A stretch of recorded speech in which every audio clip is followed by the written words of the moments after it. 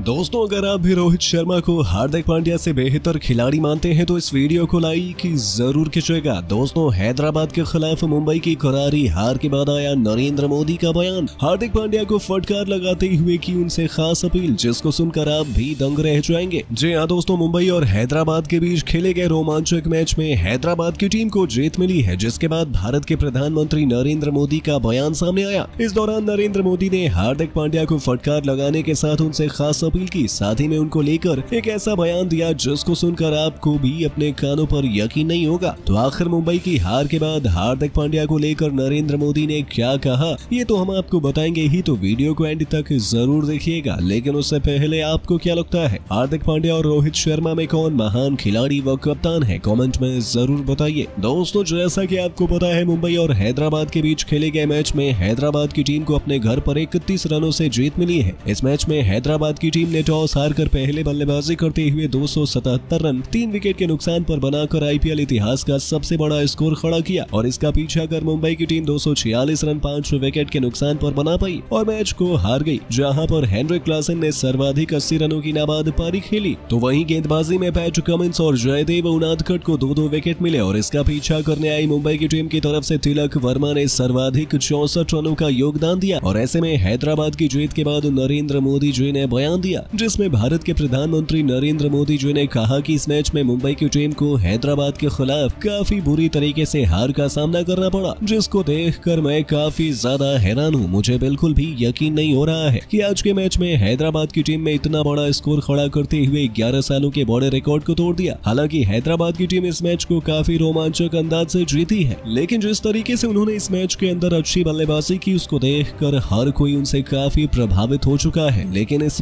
में मुंबई की टीम की खराब गेंदबाजी के बाद ज़बरदस्त बल्लेबाजी देखकर हर कोई हैरान रह गया। लेकिन मुंबई की टीम इस मैच में जीत दर्ज नहीं कर पाई और इसके पीछे मुंबई की टीम की हार का सबसे बड़ा कारण कप्तान हार्दिक पांड्या थे, जिन्होंने काफ़ी ज़्यादा खराब बल्लेबाजी के साथ अच्छी कप्तानी भी नहीं की और सभी को निराश किया। इसके अलावा उन्होंने कहा कि गुजरात की टीम के पास सबसे बेहतरीन कोच और कप्तान पिछले साल आशीष नेहरा और हार्दिक पांड्या की जोड़ी के रूप में मौजूद थे, लेकिन हार्दिक पांड्या मुंबई की टीम में चले गए और अब मुंबई की टीम में जाकर ना तो उनका अच्छा प्रदर्शन देखने को मिल रहा है और न ही उनकी शानदार कप्तानी देखने को मिल रही है। और ऐसे में एक बात तो स्पष्ट हो रही है कि हार्दिक पांड्या जो कुछ भी फ़ायदा गुजरात की टीम से मिला, वो अब मुंबई की टीम में नहीं मिल पाएगा, क्योंकि मुंबई की टीम का एनवायरमेंट गुजरात से बिल्कुल अलग है। और ऐसे में हार्दिक पांड्या से अपील करता हूँ कि वो वापस मुंबई की टीम को छोड़कर गुजरात की टीम में ही लौट जाए। इसके अलावा उन्होंने कहा कि हार्दिक पांड्या को मुंबई में ज़्यादातर लोग नापसंद करते हैं। और ऐसे में अगर वो जल्दी गुजरात की टीम को नहीं लौटेंगे तो फिर ये हार्दिक पांड्या के लिए आगे काफ़ी ज़्यादा दिक्कत पैदा कर सकता है। वैसे दोस्तों, आपको क्या लगता है, हार्दिक पांड्या को गुजरात की टीम से दोबारा चले जाना चाहिए या नहीं? कमेंट में ज़रूर बताइए। और ऐसे ही शानदार खबरों के लिए सब्सक्राइब कर लीजिए हमारे यूट्यूब चैनल को।